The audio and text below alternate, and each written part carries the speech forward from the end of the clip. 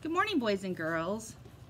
This year, you guys have learned that we read to learn things. And one of the things that we've done is we've talked about what we learn in stories or nonfiction books, what we have read and what we've heard and what we've learned from those stories.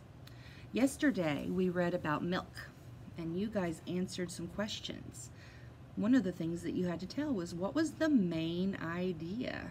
What was that piece about? And you knew that it was about milk. We know that good readers ask questions.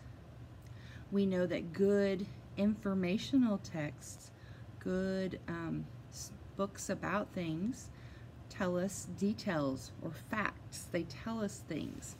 So today you're going to put a lot of that into practice. One of the questions that many of you had yesterday is, where does milk come from? How do cows make it? And so I have a story that is in the video below called Milk Makers. It's another great Gail Gibbons book. I love her. And I want you to listen to this story today with your attentoscopes on.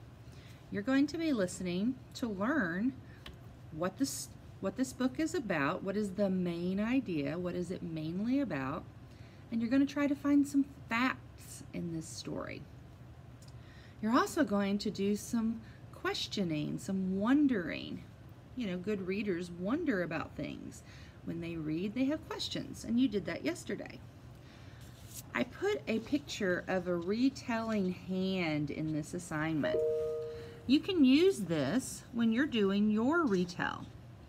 First off, what is the main idea? What is this book mainly about? What are some facts that you learned in this story? What is a question that you have? So today, I want you to listen to the Milk Maker's story below. Then I want you to make a video of yourself where you do a retelling. Start with what is this story mainly about? Tell maybe three different facts that you learned from this story. And then what is a question you have? What's the thing you wonder about? When you read this or listened to this being read to you, what did you wonder about?